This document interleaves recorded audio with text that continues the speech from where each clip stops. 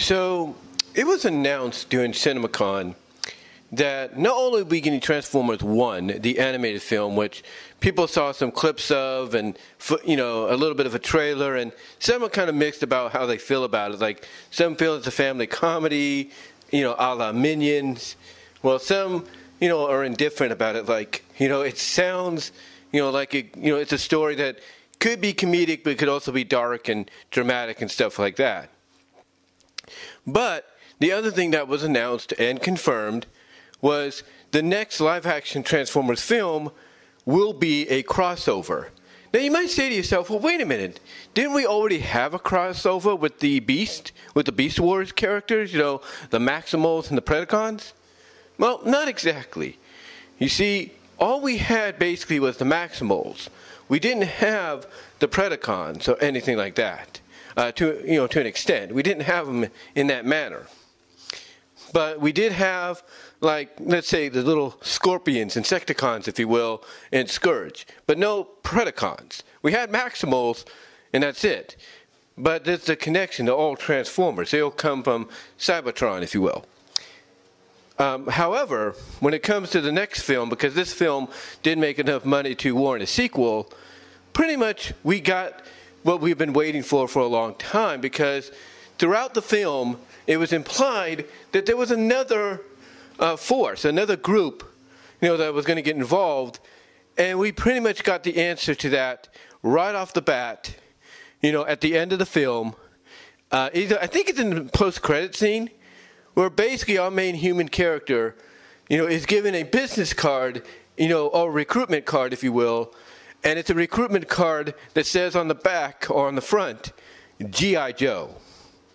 And that pretty much confirmed that G.I. Joe is not only part of the Transformers universe, but they would be getting involved soon.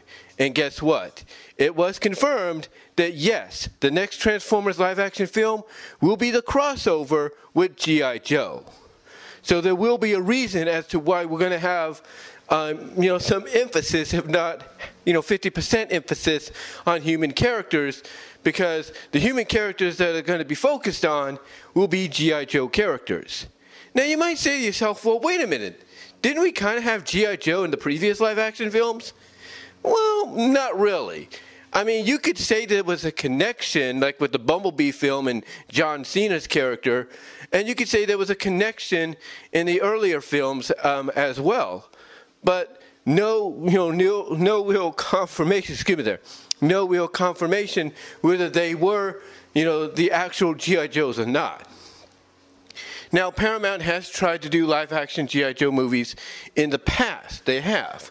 You know, they have tried their, their damnedest, you know, to make them a success. And the last one, Retaliation, was probably the biggest, you know, success they had.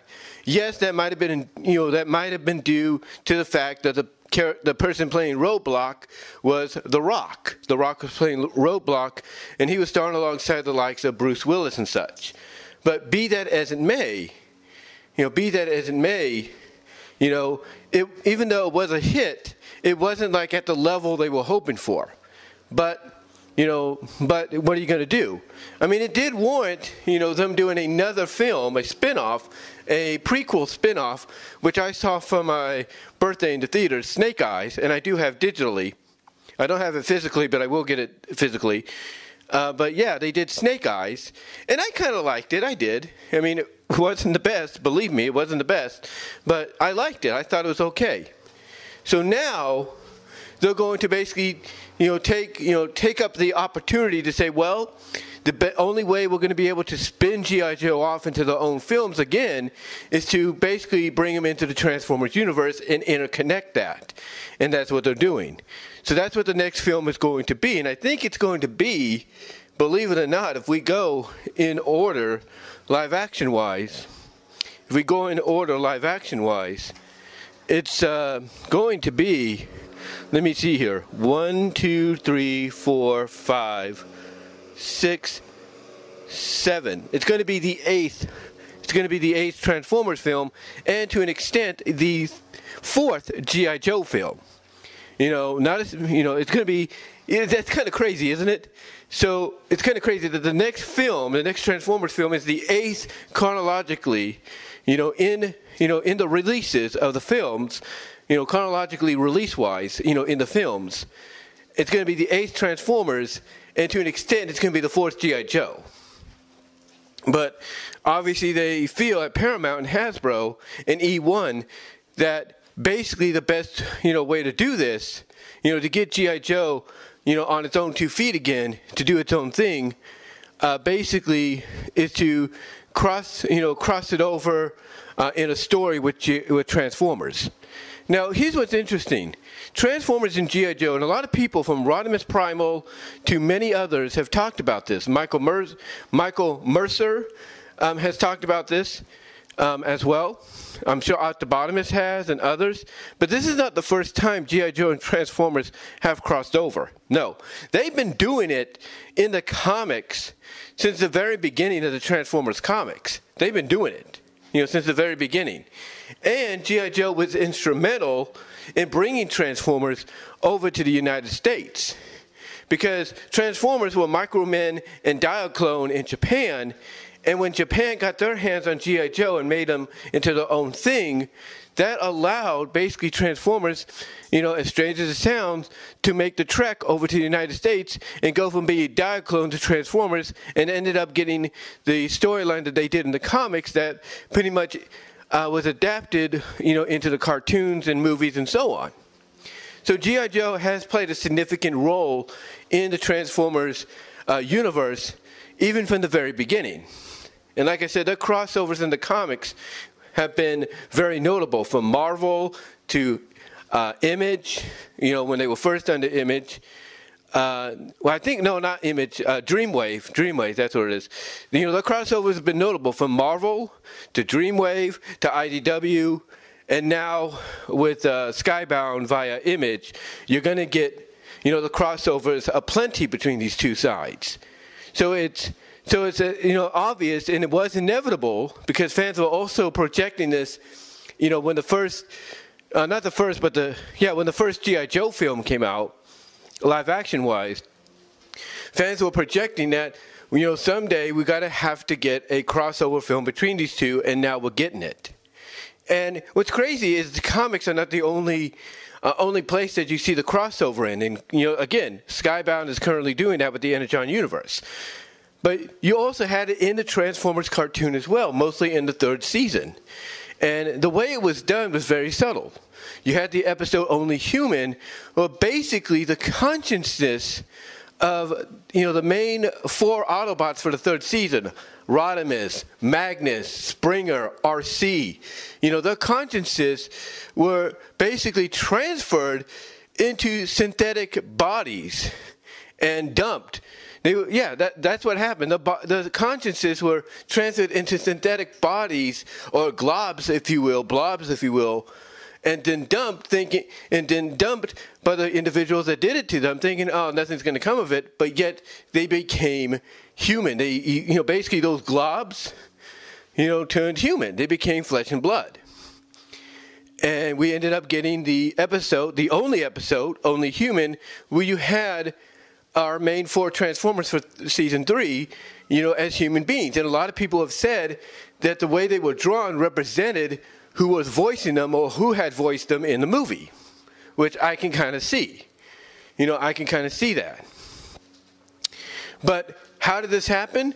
Well, it wasn't because of the Decepticons, no. It was because an org- it was because of a criminal organization that you know hired some mysterious uh, individual that had a background, you know, had a background in this kind of uh, technology called Old Hiss.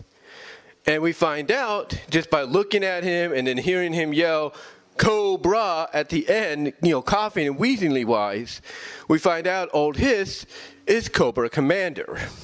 So that was your first crossover, you know, very subtly between G.I. Joe and Transformers. You know, you had Cobra Commander as the villain, you know, that perpetrated that whole ordeal. But then you have a character, and I did an animated girl's profile confidential on her, uh, Marissa Fairborn.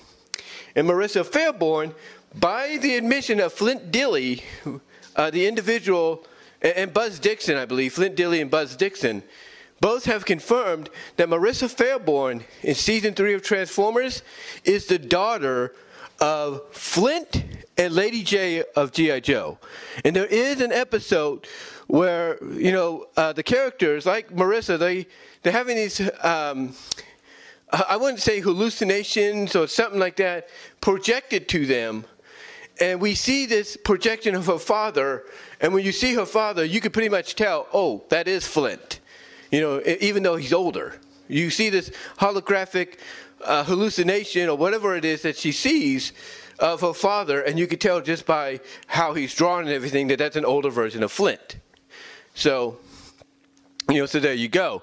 You know, Marissa Fairborn, a major human character along with Spike and Carly and Daniel uh, in Transformers Season 3, uh, Marissa Fairborn is, you know, the daughter of Flint and Lady Jaye. So there's your connection there. So again, there's always been a connection. Either it's, you know, in a crossover with the comics, you know, no matter who the publisher has been, subtle hints in the cartoon, how Transformers and G.I. Joe trekked from, you know, trekked overseas from one country to another. There's always been that connection. And fans had always wanted, had always wanted these two to cross over in the movies, you know, to some extent, whether it's animated or not and now we're getting it. Now we're getting it, you know, with Transformers uh, 8, you know, Transformers G.I. Joe. And I can only wonder, I can only, excuse me, I can only wonder how this is all going to come in, you know, into play story-wise. Because if they want to adapt from the comics, they got a, excuse me, a multitude. They got a multitude of stories that they can work with. You know, not just from Marvel, but IDW and now Skybound. They have in Dreamwave, they have a multitude of stories they can work with, or they can do their own original deal. They can they can do their own original deal. But I will say this. I will say this. I am going to go see this. I was going to see Rise of the Beast in theaters, didn't get a chance to do it. Now that I have it, um, I have been able to watch it and I enjoy it. But I will see this. When it comes out, just like with Transformers 1, I am going to see that. Uh, but with, excuse me, this as well, I'm getting over a cough and everything, so I do apologize. But with this, I also plan to see it in theaters. Transformers 1 is one I'm going to see this year, and then when this comes out, I'm seeing this too. Because this, as an 80s kid, a kid that grew up in the 80s, is something I've been waiting for. Heck, when I watched you know, when, not watched, but when I read, and I got to give a shout out to Linkara, Lewis Lovhaug, on this. You know, when I read the IDW crossover for Hasbro, Revolution, I think that's what it is, yeah, Revolution, I was happy of the involvement of G.I. Joe and Transformers working together along with other Hasbro properties.